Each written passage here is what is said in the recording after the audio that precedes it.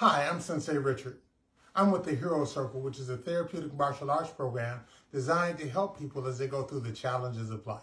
Today, we're going to give you some techniques to put in your toolbox to assist you as we go through these tough times that we're having today with the coronavirus and other aspects of life. So we start off by standing at attention, showing that we have some level of self-control, get our minds together, and then with the Heroes Circle, we have a special bow that we do. Power, peace, purpose. We say power because everyone that we deal with is a powerful individual, a powerful martial artist.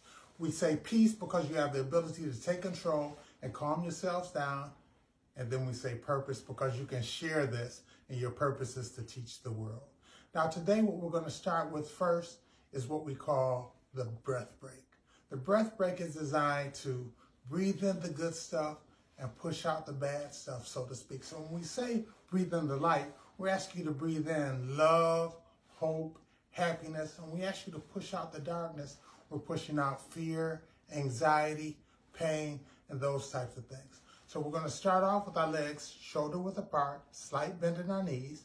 We're going to rub our hands together, getting that energy up. Then we're going to hold our hands at our waist. We're going to close our eyes then we're going to take a deep breath in. One, two, three, and then we're going to blow out.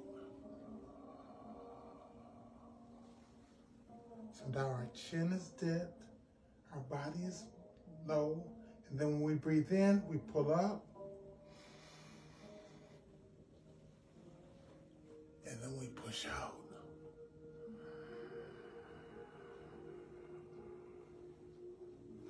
Now we're going to add in breathing in the light, thinking about something good. Pushing out the darkness, the negative.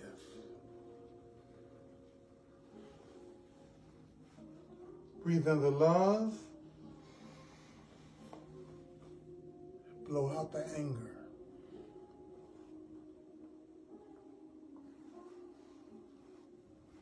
Breathe in the hope. Blow out the anxiety.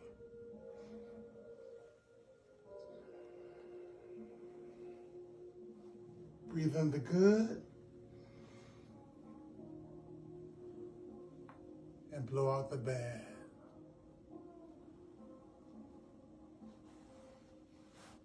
Very good. Okay, stand at attention and bow, power, peace, purpose.